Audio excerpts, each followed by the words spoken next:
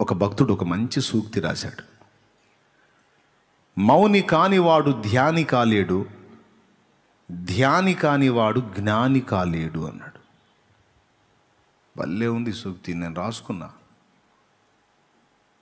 మంచి దైవజనుడు భక్తుడు అద్భుతమైన మాట రాశాడు. మీకు కూడా పనికి వచ్చింది? రాసుకో పెన్ను ఉంటే మౌని కానివాడు ధ్యాని కాలేడు ధ్యాని కానివాడు జ్ఞాని కాలేడు.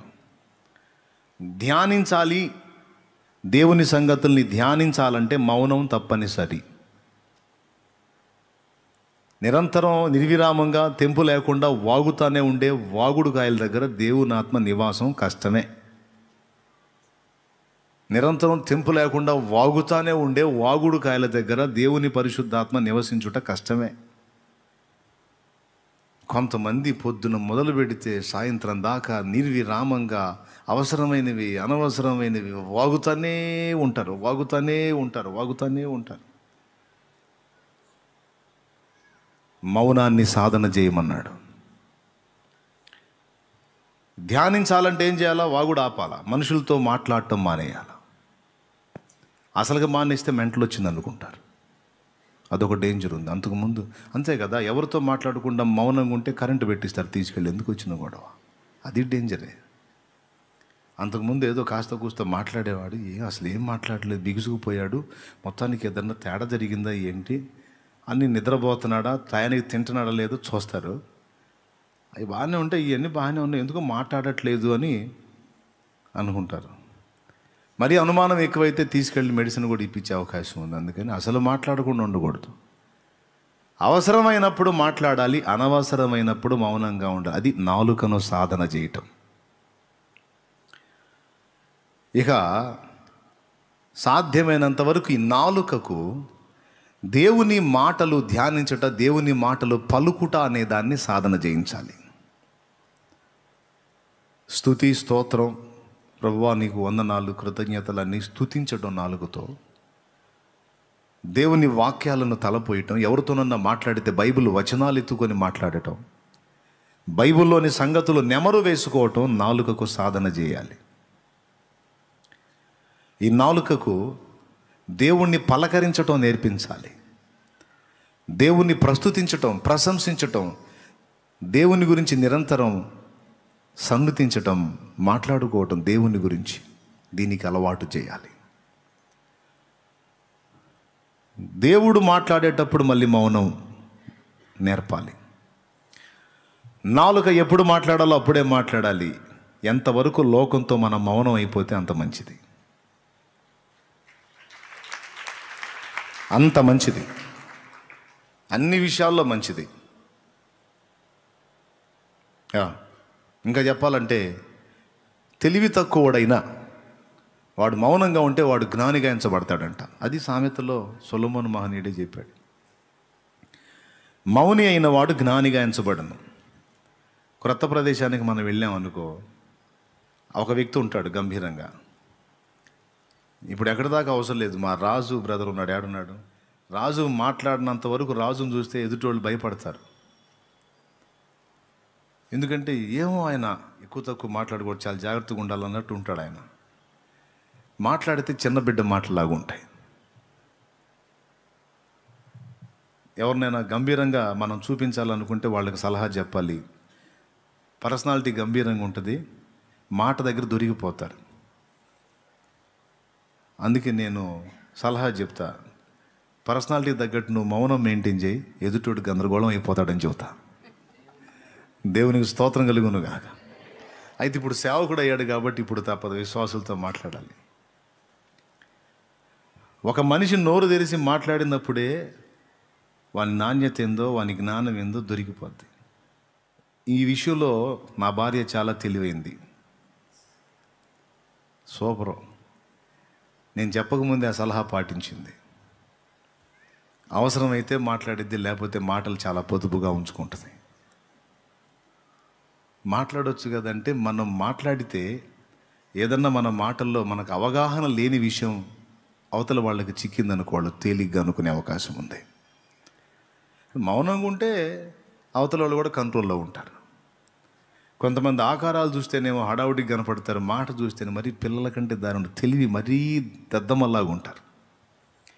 నేను చెబుతున్నాను మౌనం ఎంతైనా మంచిదే. నాలుకకు దేవుని గూర్చినటువంటి ధ్యానాన్ని నేర్పాలి. రెండు చెవులకు దేవుని స్వరాన్ని వినుట నేర్పాలి. ఇది ఇందులో సాధన చేయాలి చెవులు. పనికిమాల ముసలమ్మ ముచ్చట్లు ఆళ్ళిళ్ళలో వీళ్ళల్లో వ్యవహారాలు సీరియళ్ళు సినిమాల్లో సంగతులు లేకపోతే వేరే వేరే విషయాలు వాటిని వినడానికి అలవాటు చేయకూడదు. సైతనగాడు అయ్యేదేస్తాడు మనం దీనికి దైవస్వరం వినటం అనే దాన్ని సాధన చేయించాలి. దేవునికి మహిమ. మూడవది కళ్ళకి కూడా కళ్ళకి కూడా దేవుని చూచునట్లుగా దేవుని ముఖదర్శనాన్ని చేయునట్లుగా కళ్ళకి సాధన నేర్పాలి. వినండి. ఇది ఎలాగో చెబుతా. అన్న చెవులకు దైవస్వరం వినటం నే- నేర్పే ఆ సాధన ఎలాగా? అని అడగండి. ఏం లేదు. చెత్త వ్యవహారాలు వినటం మానేసేయి. చెవులకు పని చెప్పటం మానేసి ఈ చెవులు పని చేయకుండా ఆపేసేయి. అప్పుడు అంతరంగ చెవి ఓపెన్ అయింది అందులో వినపడితే దేవుని స్వరం. లోతైన జలములలో లోతున వినబడు స్వరమా? లోబడుటను నేర్పింది లోపంబులు సవరించు. లోతైన జలములలో లోతున వినబడు స్వరమా? లోబడుటను నేర్పించి లోపంబులు సవరించు.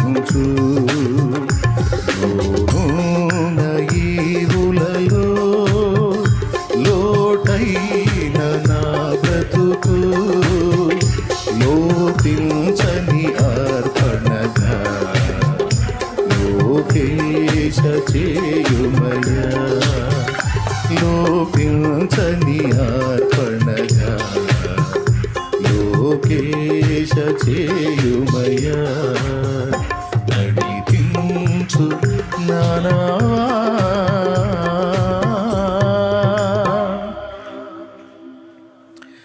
దేవునికి స్తోత్రం కలుగునుగాక. హలేలుయా ఈ చెవులను వాడటం మానేసే ఎక్కువగా. ఈ చెవులకు ఎక్కువ పని చెప్పవాకు. వీటిని వీటిని కంట్రోల్ చేసేసే అంతరంగ చెవి ఓపెన్ అయిద్ది. అందులో దేవుని స్వరం వినబడింది. చెవులు గలవాడు ఆత్మ సంఘముతో చెప్పుచున్న మాట చెవి గలవాడు? ఆ వినుగాక. ఆ చెవి ఓపెన్ అవ్వాలంటే ఈ చెవులకి? పని ఉండకూడదు. ఈ మౌనం అయిపోవాలి. ఈ సైలెంట్ అయిపోవాలి. ఈ పని చేయటం మానేయాలి. ఓకే? ఒకటి. నాలుక. పనికిమాలిన మాటలు మాట్లాడకుండా మౌనం వహిస్తే అంతరంగంలో ధ్యానం ప్రారంభమైంది. ధ్యానం అనేది మౌనంలో జరిగేదండి. తెలుసా మీకు? ధ్యానం అనేది మౌనంలో జరిగేది. మాటల్లో జరిగేది కాదు. ఇస్సాకు పొలములో ధ్యానింప వెళ్ళెను అన్నాడు. ఇస్సాకు పొలములో ధ్యానింప వెళ్ళెను అంటే ఏం చేసి ఉంటాడు? అసలు పొలంలోకి ఎందుకు వెళ్ళాడు? పొలంలో ధ్యానింప వెళ్ళాను ఎందుకు? ఏం ధ్యానించడానికి వెళ్ళాడు? దేవుని సంగతులు ధ్యానింప వెళ్ళాడా? లేకపోతే దేవుడు ఇవ్వబోతున్న రెపుకాను కూర్చున్నటువంటి విజన్ చూసి దాని సంగతులను ఆ దర్శనాన్ని కూర్చున్న సంగతులను లేకపోతే ఏ ఏ సంగతులను ధ్యానింప వెళ్ళాడు? రెక్ రెపకమ్మను గురించి ధ్యానింప వెళ్ళాడా? మొన్న ఒక భక్తుడు అన్నాడు మంచి మాట చెప్పాడు దైవజనుడు. రెబుకాను సంఘముతో పోల్చి ఇస్సాకును ప్రభువుతో పోల్చి ఇస్సాకు పొలములో ధ్యానింప వెళ్ళును అన్న మాటలోని ఆంతర్యం ఇది అని ఆయన మాట్లాడాడు. అద్భుతమైన మాట ఏంటంటే సంఘము ధ్యానిస్తుందట. తన ప్రాణప్రియుడు ఇలా ఉంటాడు ఎలా ఉంటాడు ఎలా ఉండాలి ఎలా ఉండాలని సంఘము ధ్యానించుకుంటుందట. అలాగే ఇస్సాకు అన అంటే క్రీస్తుకు సాదృశ్యంగా చెప్తూ ప్రభువు కూడా తండ్రి అయిన దేవుడు తనకు సిద్ధపరిచినటువంటి పట్టమహిషి లేక వధువు యొక్క వ్యక్తిత్వం కానీ ప్రవర్తన కానీ నీతి నియమావళి కానీ ఎలా ఉండాలి ఎలా ఉండాలి ఎలా ఉంటుందా ఎలా ఉంటుందా అని ఆమె ఆ- ఆమె సంగతులను గూర్చి ఆయన ధ్యానిస్తాడట. అర్థమైందా? ఆయన ఎలా ఎలా ఇష్టపడతాడో అవన్నీ ఆమెలో ఉండాలి. నా తండ్రి నా కోసం సిద్ధపరిచినటువంటి వధువు ఇలా ఉంటుందని చెప్పాడు. ఆమె ఎలా ఉంటుందా? ఎలా ఉంటుంది? అని ఆమెను గూర్చినటువంటి ఆలోచనలు ధ్యానింప వెళ్ళాడు. అన్నాడు. ఆ సంగతి అటు ఉంచితే ఇస్సాకును అక్షరార్థంగా తీసుకుంటే పొలంలో మాట్లాడుకోవటానికి వెళ్ళాడా? ధ్యానింప వెళ్ళాడా? ధ్యానం అనేది పెదవుల మీద వ్యక్తం అవుతుందా అంతరంగంలో జరుగుతుందా? రైట్. వాక్యం చదువుతాం మౌనంగా. చదవటం వేరు ధ్యానించటం వేరు. ధ్యానించటం అంటే ఇప్పుడు నేను ఒక్క వచనమే తీసుకున్నాను. ఆ ఒక్క వచనంలో అపవిత్రమైన ముసలమ్మ ముచ్చట్లు అన్న ఒక మాట తీసుకుని దానిలో కొన్ని సంగతులు మాట్లాడాను. ఇంకా దేవభక్తి దగ్గరికి రాలా. అపవిత్రమైన అన్న పాయింట్ దగ్గరే ఉన్నాను. అంటే ఆ ఒక్కదాని దగ్గరే ధ్యానం చేసినప్పుడు ఎన్నో సంగతులు బయటకు వస్తాయి అన్నమాట ధ్యానం అంటే మాట్లాడడం కాదు మౌనం వహించి లోపల దాన్ని గూర్చి యోచన చేయుట ధ్యానించుట. మరి ఆ ధ్యానం రావాలంటే ముందు నవలకు ఏం చేయాలా? వాగటం మానేయాలా? ఇంటర్వెల్ ఉండదు వాగుతానే వాగుతానే ఉంటారు. ఏ దారిని పోయడం కదా ఏందే బాగుండవా? ఏ జగత్లో దా.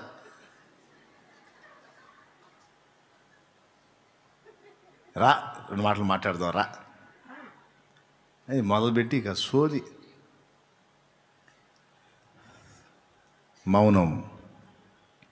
మళ్ళీ చెప్తాడు మౌని కానివాడు ధ్యాని కాలేడు ధ్యాని కానివాడు జ్ఞాని కాలేడు.